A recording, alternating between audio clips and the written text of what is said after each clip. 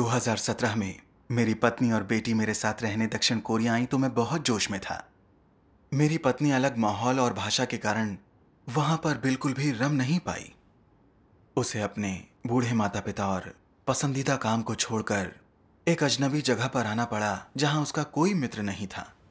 उसके लिए हर चीज़ अनजानी थी। जायज़ है। वो हमेशा उदास और चुप रहती। मैं जानता था कि वो दुखी है, पर समझ नहीं आ रहा था कि उसे कैसे आराम दूँ। मार्च में एक दिन उसने कहा कि वो परमेश्वर में विश्वास करने लगी है। मुझे लगा, ये तो अच्छी बात है। मेरी दादी भी एक विश्वासी थी। मुझे कोई आपत्ति नहीं हुई। कुछ समय बाद मैंने देखा कि वो हमेशा खुश रहने लगी है।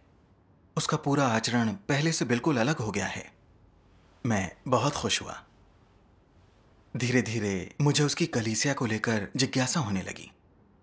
मैंने सोचा इससे किसी में इतना बड़ा बदलाव कैसे आ सकता है? हाँ। एक दिन मैंने उससे पूछा कि वो किस कलीसिया में भाग ले रही है? उसने कहा यह सर्वशक्तिमान परमेश्वर की कलीसिया है।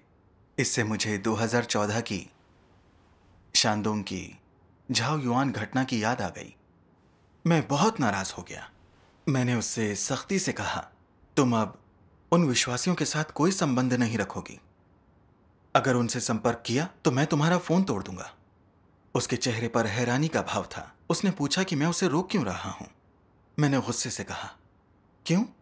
यह तुम्हारे और हमारे परिवार के भले के लिए है। क्या तुम्हें नहीं पता कि सीसीपी सर्वशक्तिमान परमेश्वर की कलीसिया पर कार्यवाही कर उसका दमन कर रही है? तुम्हें 28 मई 2014 के झाऊ यौन मामले के बारे में नहीं पता? इस मामले का मुख्य आरोपी झांग लिदोंग इसी कलीसिया का सदस्य है। इन लोगों के साथ मेलजोल रखने से क्या तुम मुसीबत मोल नहीं ले रही? उसने दृढ़ता के साथ कहा झांग लिदोंग और बाकी लोग सर्वशक्तिमान परमेश्वर की कलीसिया के साथ नहीं हैं। आपको इस बात पर यकीन नहीं करना चाहिए। मैं कलीसिया के भाई बहनों से पिछले दो महीनों से संपर्क में हूँ। वो सब ईमानदार लोग हैं जो दूसरों के प्रति दयालु और निष्ठावान हैं। किसी भी तकलीफ़ में वो एक दूसरे की मदद करते हैं। ऑनलाइन कही बातों जैसा कुछ भी नहीं है। सच है। वाकई। वाकई। लेकिन उसकी तमाम बातें सुनकर मैंने जवाब दिया। खुद ही ऑनलाइन देख लो जान जाओगी मैं सही हूँ या नहीं।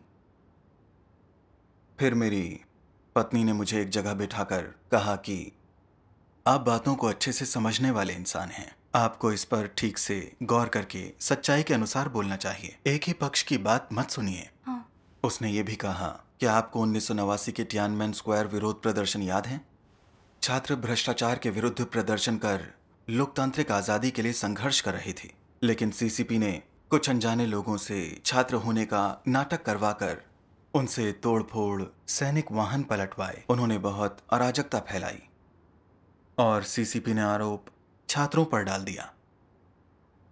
इसके बाद सीसीपी ने सीसीटीवी और रेडियो का इस्तेमाल कर अपनी झूठी रिपोर्ट फैलाई। उन छात्रों को क्रांति विरोधी दंगाइयों के रूप में बदनाम किया। फिर हज़ारों जीवित छात्रों को अपने टैंकों के नीचे दबाकर कुचल दिया। फिर मेरी पत्नी ने कहा, जिस किसी को सीसीपी का इतिहास मालूम है, वो जानता है कि ये ऐसी तानाशाही है जिसके न्याय विरोधी होने का इतिहास है। जब भी किसी का कोई अलग राजनीतिक विचार या नज़रिया होता है उसे हमेशा दबाया जाता है। उसका दमन कर उसे मिटा दिया जाता है। सच है। जब भी सीसीपी किसी धार्मिक आस्था लोकतांत्रिक अधिकारों के अभियान अल्पसंख्यकों के विरोध प्रदर्शनों का दमन करती है तो वो झूठे मामले गढ़कर लोगों को बरगलाती है विरोध खड़ा करती है फिर हिंसक दमन करती है। ये एक सच्चाई है। वाकई। 28 मई का झाओ युआन मामला सीसीपी द्वारा सर्वशक्तिमान परमेश्वर की कलिसिया को फंसाने का मामला था। उन्होंने सावधानी से एक और झूठा मामला गढ़ डाला। ये सीसीपी की हमेशा की चाल है। सच है। ऐसा वो दसियों साल से करते आ रहे हैं। हाँ। लेकिन मैं उसकी बात नहीं सुनना चाहता था। मैंने गुस्से से कहा तुम अब सर्वशक्तिमान परमेश्वर में विश्वास नहीं रख सकती। मुझे अपने परिवार की सुरक्षा का ख्याल रखना है। मैं तुम्हें और अपनी बेटी को मुसीबत में नहीं देख सकता। मुझे किसी और बात की फ़िक्र नहीं। मैं तुम्हें आखिरी बार बता रहा हूँ। तुम अब उनसे कोई संपर्क नहीं रख सकती। बस घर पर एक अच्छी पत्नी और माँ बनकर रहो, वरना तुम्हें अंदर बंद कर दूँ तो मुझे दोष मत देना। फिर मैं दरवाज़ा ज़ोर से बंद कर घर से बाहर चला गया। मुझे वाकई बहुत बुरा लग रहा था। शादी के पिछले दस साल में मैं इस तरह उस पर कभी भी नाराज़ नहीं हुआ। पहली बार मिलने से लेकर प्यार करने और शादी की रस्में निभाने तक हमने बहुत कुछ झेला। हमारे माता पिता का विरोध, सांस्कृतिक अंतर, उम्र का फ़र्क और दूर का रिश्ता हमने तमाम मुश्किलों को पार किया। हमारे परिवार के लिए उसने कई साल बहुत कुछ सहा। ये सब सोचकर मुझे वाकई पीड़ा हुई, मगर मैं सिर्फ़ परमेश्वर में विश्वास रखने की वजह से उस पर इतना गुस्सा हो गया। जानता हूँ मुझे ऐसा नहीं करना चाहिए था। मगर मुझे लगा कि ये हमारे परिवार के भले के लिए है। वो मुझे क्यों नहीं समझ सकी? मैंने अपना फ़ोन देखा।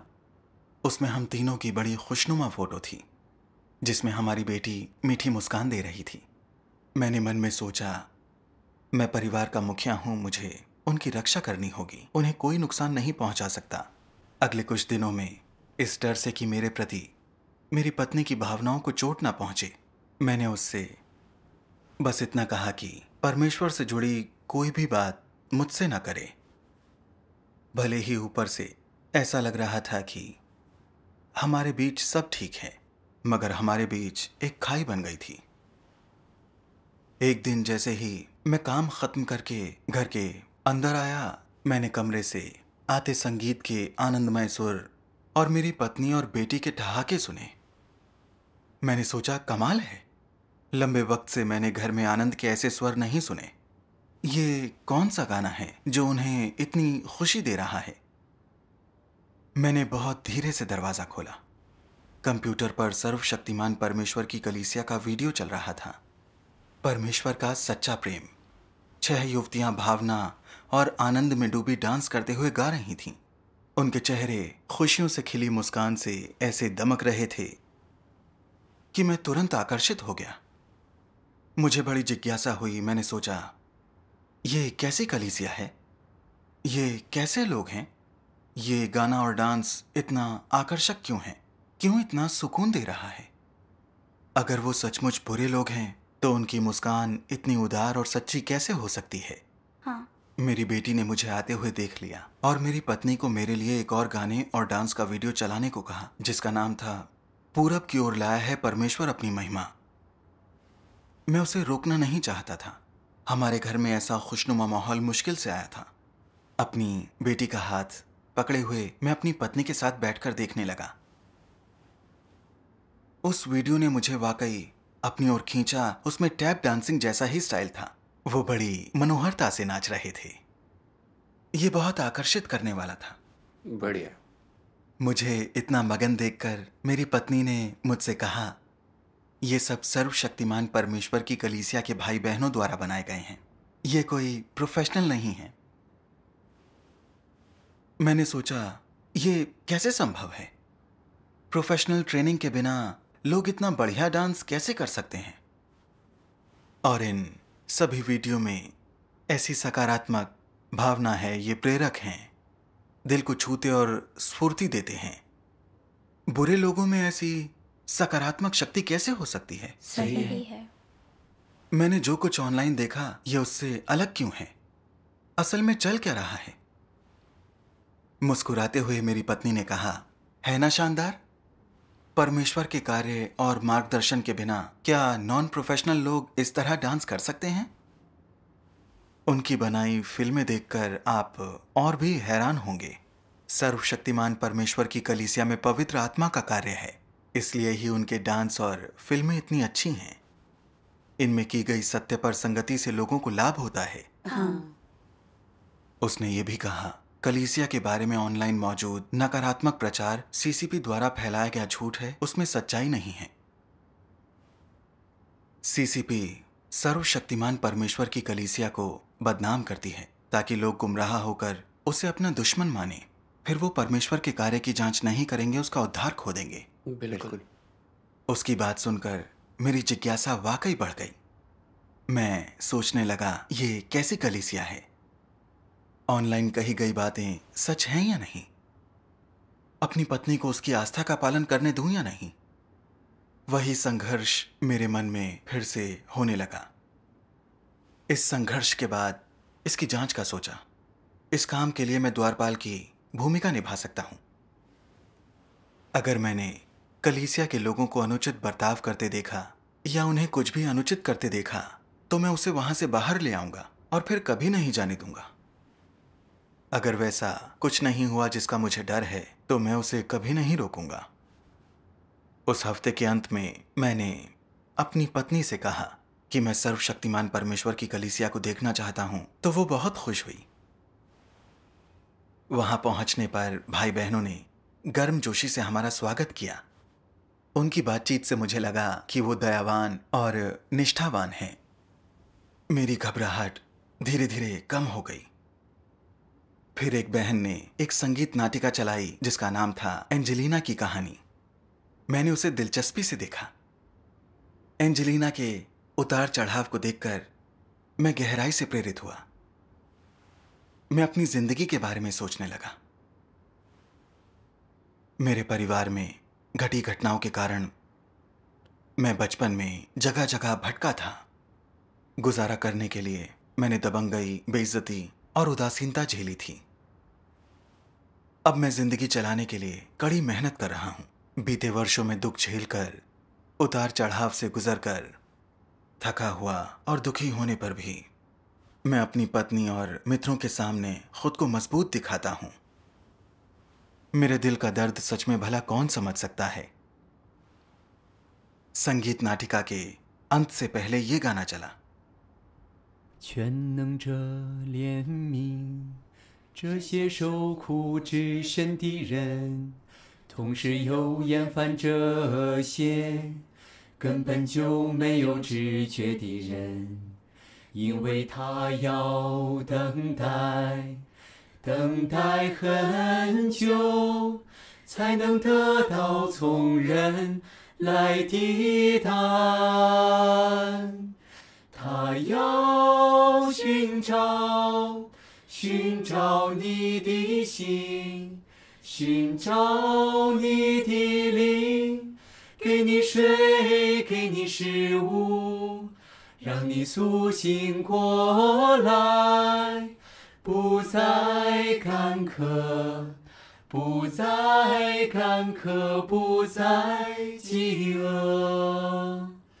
当你感觉到疲惫时，当你稍稍感觉这个世间的这个世间的一份苍凉时，不要迷茫，不要哭泣。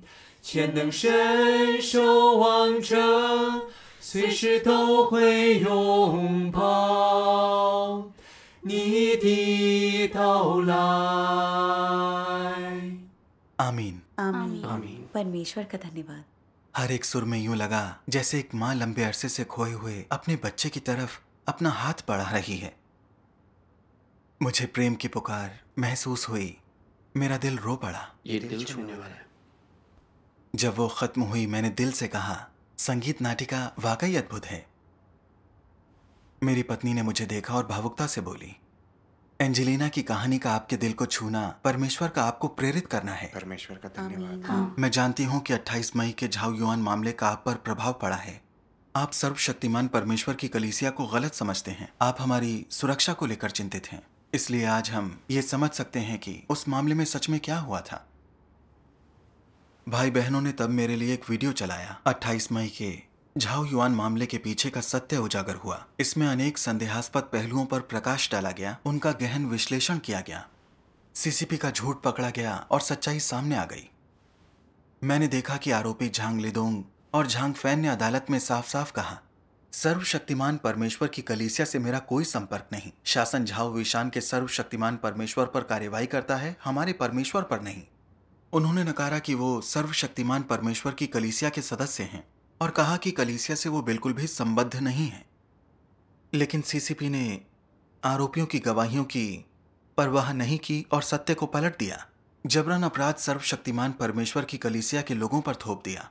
क्या ये कलीसिया को बदनाम करने के लिए बोला गया सफ़ेद झूठ नहीं था? हाँ। फिर एक बहन ने मेरे साथ ये संगति साझा की। सीसीपी सालों से अपनी कपटता के लिए कुख्यात रही है। देश विदेश में ये बहुत बदनाम है। दुनिया भर में ज़्यादातर लोग इसकी असलियत देख सकते हैं। अब शायद ही कोई इस पर भरोसा करता है। हाँ। उसने आगे कहा हम सब जानते हैं चीन में कम्युनिस्ट पार्टी की तानाशाही है। न न्यायपालिका को आज़ादी है और न ही प्रेस को। चीनी मीडिया और अदालतें पूरी तरह से सीसीपी सरकार द्वारा नियंत्रित हैं। वो सिर्फ़ तानाशाही के मुखपत्र और साधन बनकर रह गए हैं। सही है। ये एक जग ज़ाहिर सच्चाई है। हाँ। झाओ युआन घटना के तीन दिन बाद बिना किसी अदालती सुनवाई या फैसले के सीसीपी ने टीवी और ऑनलाइन मीडिया तंत्र का इस्तेमाल करके सार्वजनिक रूप से निंदा कर दी। मध्य जून में उन्होंने अपना सौ दिन का युद्ध शुरू कर दिया ताकि सर्वशक्तिमान परमेश्वर की कलिसिया का दमन और कार्रवाई की जा सके। उन्होंने कलिसिया को लक्ष्य बनाकर राष्ट्रव्यापी खोजबीन की ईसाइयों को गिरफ़्तार किया। शानदोंग में 28 मई को हुआ झाओ युआन मामला। सीसीपी द्वारा सर्वशक्तिमान परमेश्वर की कलिसिया को मिटा देने के लिए गढ़ा गया झूठा मामला था। हम्म, यकीनन। यकीनन। यही मामले की सच्चाई है। हाँ। इसे सुनकर मैंने सोचा सीसीपी कितनी घिनौनी है।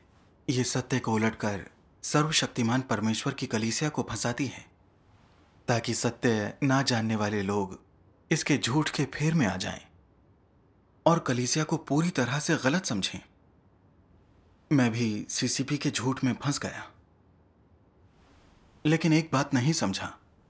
सीसीपी कलीसिया का इस तरह से उत्पीड़न क्यों करती है? सर्वशक्तिमान परमेश्वर की कलीसिया पर खून का मामला थोपना क्यों चाहती है? उसके सदस्यों को गिरफ़्तार क्यों करना चाहती है? यह आखिर चल क्या रहा है? अपनी उलझन के बारे में मैंने उनसे पूछा। तो एक बहन ने जवाब दिया, वो इतने पागलपन से सर्वशक्तिमान परमेश्वर की कलीसिया का, दमन और हत्या का झूठा मामला इसलिए गढ़ती है, क्योंकि वो एक नास्तिक पार्टी है। इसके संस्थापक कार्ल मार्क्स एक शैतानवादी थे। सीसीपी सभी धार्मिक आस्थाओं को मिटा देना चाहती है, ताकि लोग उसी में विश्वास रखें और उसे अपना उद्धारकर्ता मान लें। मार्क्स परमेश्वर का विरोध करने वाले वास्तविक जीवित दानव थे। उसने ये भी कहा सीसीपी ने सत्ता में आने के बाद से परमेश्वर को खुले तौर पर नकारा है उसकी निंदा और उसका तिरस्कार किया है। वो ईसाई धर्म को एक कुपंथ कहती है। वो बाइबल की प्रतियों को कुपंथ साहित्य कहकर नष्ट कर देती है। वो धार्मिक समूहों को कुपंथ कहती है ताकि उनका दमन कर सके। अब अंत के दिनों में सर्वशक्तिमान परमेश्वर ने चीन में प्रकट होकर कार्य किया है। वचन देह में प्रकट होता है में संपूर्ण सत्य व्यक्त किया है। इस किताब ने सभी धर्मों और सांप्रदायों को झकझोर डाला है। बहुत से सच्चे विश्वासियों ने सर्वशक्तिमान परमेश्वर के वचन पढ़े हैं। उन्होंने समझ लिया है कि ये वचन सत्य और परमेश्वर की वाणी है। सर्वशक्तिमान परमेश्वर ही वापस आया हुआ प्रभु यीशु है। आमीन। सर्वशक्तिमान परमेश्वर को स्वीकार कर वो परमेश्वर के सिंहासन के सामने आ गए हैं। आमीन। करीब 20 साल में ही चीन में लाखों लोगों ने सर्वशक्तिमान परमेश्वर के अंत के दिनों के कार्य को स्वीकार कर लिया है। लोग सर्वशक्तिमान परमेश्वर पर विश्वास कर रहे हैं। सीसीपी में नहीं, इससे पागल होकर वो परमेश्वर के कार्य की निंदा करती है। सर्वशक्तिमान परमेश्वर की कलीसिया के बारे में झूठ फैलाती है। उसने कई गोपनीय दस्तावेज़ जारी किए हैं और सशस्त्र पुलिस बल की तैनाती की है। वो चीन में परमेश्वर के अंत के दिनों के सुसमाचार को रोकने की कोशिश करती है। चीन में कलीसियाओं के लोगों को गिरफ़्तार करके उनका दमन करने पर तुली है। वो परमेश्वर के कार्य और सर्वशक्तिमान परमेश्वर की कलीसिया को मिटाना चाहती है। इससे सीसीपी की शैतानी और परमेश्वर से घृणा करने वाली प्रकृति साफ़ उजागर होती है। वाकई। सर्वशक्तिमान परमेश्वर के वचनों में कहा गया है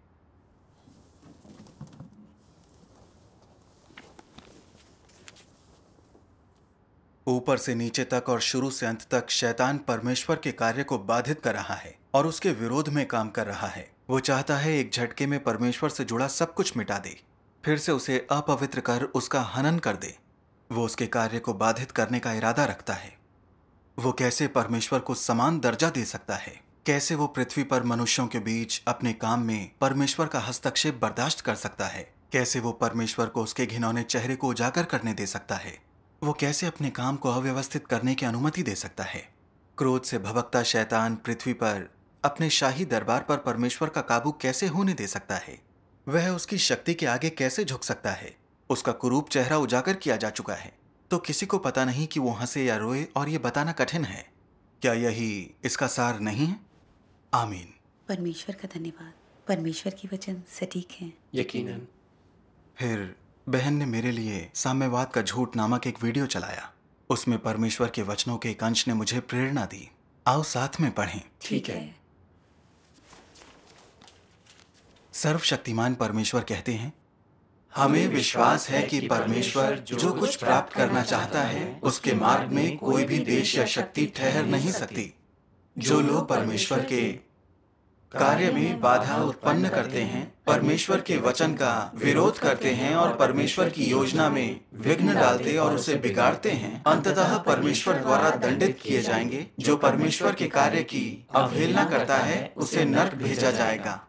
जो कोई राष्ट्र परमेश्वर के कार्य का विरोध करता है, उसे नष्ट कर दिया जाएगा। जो कोई राष्ट्र परमेश्वर के कार्य को अस्वीकार करने के लिए उठता है, उसे इस पृथ्वी से मिटा दिया जाएगा और उसका अस्तित्व समाप्त हो जाएगा। आमीन। परमेश्वर का धन्यवाद। उसके इन वचनों से मुझे परमेश्वर के अधिकार और प्रताप का अनुभव हो रहा था। इंसान परमेश्वर के कार्य को नहीं रोक सकता। सीसीपी सर्वशक्तिमान परमेश्वर की कलीसिया को बदनाम कर उसकी निंदा कर रही है। कलीसिया के ईसाइयों को गिरफ़्तार कर उत्पीड़ित कर रही है। फिर भी वो परमेश्वर का अनुसरण कर रहे हैं उसके सुसमाचार को फैला रहे हैं। हाँ। हाँ। हाँ। वो और भी ज़्यादा सुसमाचार फ़िल्में सामूहिक कार्यक्रम और डांस वीडियो बना रहे हैं और ज़्यादा से ज़्यादा लोग सर्वशक्तिमान परमेश्वर में विश्वास रखने लगे हैं। किसी इंसान का कोई काम ऐसे गहरे उत्पीड़न के बावजूद इतनी तेज़ी से फैल नहीं सकता। हाँ परमेश्वर से आई हर चीज़ फलती फूलती है। मुझे यकीन था कि ये परमेश्वर से आया है सच्चा मार्ग है जाँच के लायक है। आमीन। हाँ ये सब बातें समझ लेने से सर्वशक्तिमान परमेश्वर की कलीसिया के बारे में मेरी शंकाएँ दूर हो गईं। मुझे लगा जैसे मेरे दिल से बड़ा बोझ उतर गया है। आमीन। मैंने अपनी पत्नी की ओर देखकर कहा सर्वशक्तिमान परमेश्वर में तुम्हारा विश्वास रखना सही है। मैं ही ना समझ था। मैंने आँख बंद करके सीसीपी के झूठ को मान लिया तुम्हें भी रोका। मुझसे गलती हो गई। हाँ। उसकी आँखों में आँसू आ गए। उसने भावुक होकर कहा परमेश्वर की कृपा है कि आप सीसीपी के झूठ को समझकर उलझन से बाहर निकल सके। ये परमेश्वर का मार्गदर्शन है। आमीन। आमीन। आमीन। इसके बाद मैं अपनी पत्नी के साथ बैठकर सर्वशक्तिमान परमेश्वर की कलिसिया के बनाए वीडियो देखता उसकी आस्था के बारे में सुनता। कुछ समय बाद मैं बहुत बीमार पड़ गया। तब कलीसिया के भाई बहन मेरा हाल पूछने और हमारी मदद करने आए। ऐसे ठंडे और बेपरवाह समाज में भाई बहनों द्वारा मदद का हाथ बढ़ाने से मुझे महसूस हुआ कि हम एक परिवार के जैसे हैं।